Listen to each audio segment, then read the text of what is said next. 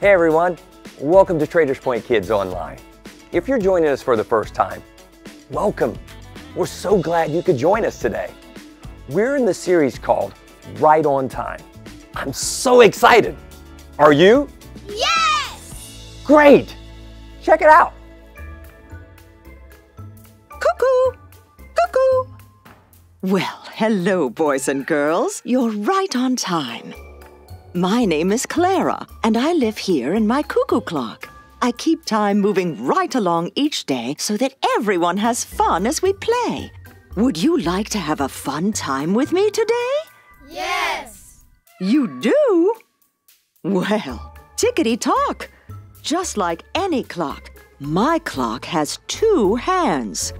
One is big and one is small.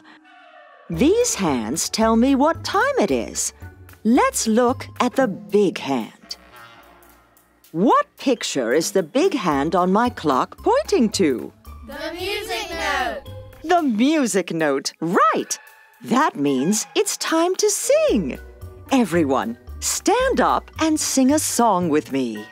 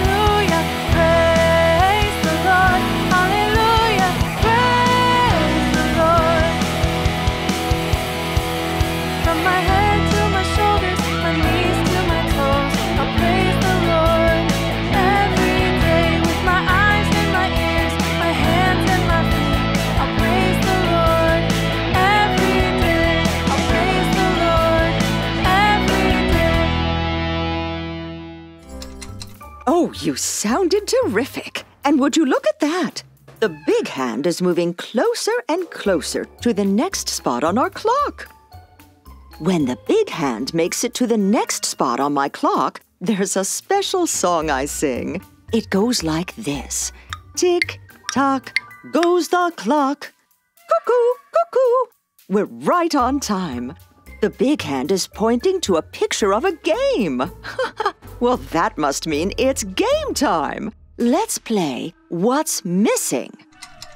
You see, we have a knight, a knight, and a crown. Then we have a knight and a knight. What comes next in the pattern? Boys and girls, do you know what's missing? A crown. A crown! You're right. Hmm, I wonder where we could find one of those. Good idea. Maybe we can look for one at our next stop on the clock. Oh, the big hand is moving again, which means time is ticking. So let's sing my special song together. Tick tock goes the clock. Cuckoo, cuckoo. Oh, what feathering fun. it's time for a Bible adventure. Today, we're going to a castle. Don't forget your royal robe. And make sure you grab your shield. Now flap your wings and fly on a Bible adventure with me. Greetings and welcome to my castle. My herald just informed me that you are searching for a royal crown. I am pleased to inform you that you have surely come to the right place. I would be honored to present a crown to you, but before you go, would you have time for a story? Yeah. Magnificent! To make sure you hear all of the story, you must click on your royal listening ears. Do it with me. Click, click. Click. Wonderful! Now it's time to put on your special eyes. Zoop, Zoop, zoop. zoop. You look royally ready. My favorite book to read for story time is the Bible, and one of my favorite people to read about is a man named Joseph. Let me hear all of you shout, Joseph! Joseph. Good job! Now, Joseph did not have an easy life. As a boy, his brothers were not kind to him. They didn't just hurt him or call him names, but they sold him as a slave. While Joseph was a slave in Egypt, someone told a lie about him, and he was put into jail.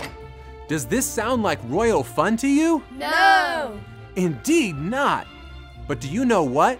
Even though all of these bad things happened to him, God helped Joseph love others. God allowed Joseph to understand dreams that other people had.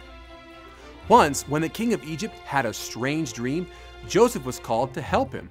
You see, Joseph could have been mean and mad because he had been stuck in jail for a long time, but Joseph chose to show love to the king. Joseph told him that his dream meant that in seven years, no more food would grow. He told the king to save all the food they possibly could, so that when there was no food growing, everyone in Egypt would still have plenty to eat. Well, the king thought this was a royal idea. He knew that God was with Joseph, so he put Joseph in charge of saving all the grain and getting ready for the seven years without food. Let's all cheer for Joseph! Wonderful! So Joseph and his men worked hard over the next seven years. They built large barns and stored as much grain as possible. And for seven years, everyone had enough food. But then, just as God had told the king in his dream, the food stopped growing. Joseph's family did not live in Egypt. They were hungry and they needed food. So his brothers made their way to Egypt to ask for grain. It had been a long time since the brothers had seen Joseph, and they did not know who he was. But Joseph knew who they were. He could have been mean to them since they were so unkind to him long ago. Instead, Joseph showed love to his brothers. He gave them plenty of grain to take home, and he even threw a huge feast just for them. Friends, we can learn so much from Joseph. Joseph chose to love others even when it was hard and not so easy. God wants us to love others all the time, too. Let me hear you say this after me in your most royal voices. Love Love. others. Others. You sounded fabulous. Thanks for taking the time to hear my story. And I almost forgot. Here's a special royal crown just for you. Farewell, friends. I hope you come back and visit again. Tickety tock! Oh, we found what we needed. But the big hand is moving, which means time is ticking. So let's sing my special song together. Tick tock goes the clock. Cuckoo, cuckoo. It's time to help. Lots of people need our help every day. Do you remember something we learned on our Bible adventure that could help someone else? Ah, yes. We learned to love others. Everyone, say this after me. Love Love. others. Others. That's it. Oh, and look, here's someone we can help. This is Scout. Scout and his cousin are playing Knights and Dragons when his cousin's shirt tears. Can Scout show love to his cousin by sharing one of his shirts with her? Yes. You got it! It's time for us to help Scout so that his cousin has a new shirt to wear. Let's help Scout by telling him what we learned on our Bible adventure today. Say it after me. Love Love. others. Others. Well, tickety tock, we were right on time to help Scout. He heard what we said, and now he's having fun playing with his cousin again. You and I can have fun when we love others too. You know, there's a verse from the Bible that tells us all about how God wants us to live every day. Say it after me. Love, Love. being kind Being kind to others. To others. Micah 6 8. Micah 6 8. Cuckoo! I can love being kind to others, and so can you. It's always a good time to be kind. Speaking of time, the clock is ticking, so let's sing my special cuckoo clock song together. Tick tock goes the clock. Cuckoo, cuckoo, it's time to sing again. I know just the song that can help us remember how God wants us to live. Stand up and let's sing it together.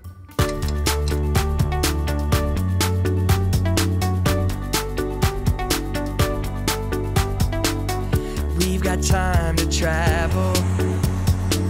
We're gonna do what's right. We're gonna love everybody.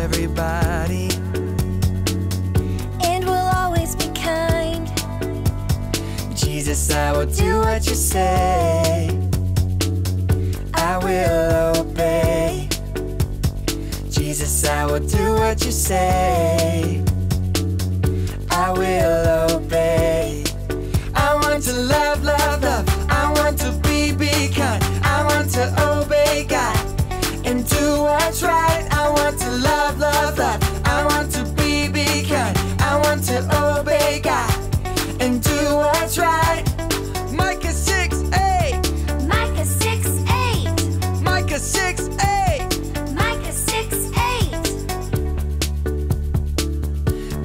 Time to travel. We're gonna do what's right.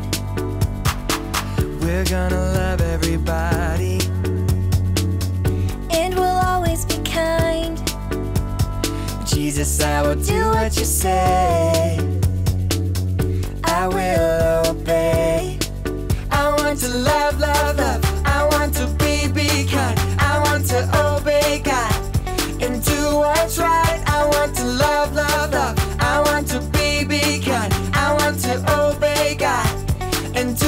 do what's right. Micah 6 8. Micah 6 8. Micah 6 8. Micah 6 8. Micah 6 8. Micah 6 8. Micah 6 8. Micah 6 8. Oh, feathering fun. time sure flies when you're having fun. It's time for me to go, but I hope you will come back soon. That was fantastic! And kids, the fun isn't over yet. Families, we've provided you with something called a parent guide. You can find it at tpcc.org forward slash kids hyphen messages. First, click on today's message, then over on the right side of the page, there's a box that says Engage with the message. There, you will find a link to follow so that your family can connect and continue the discussion to grow in God's Word together. We hope to see you next week. Bye.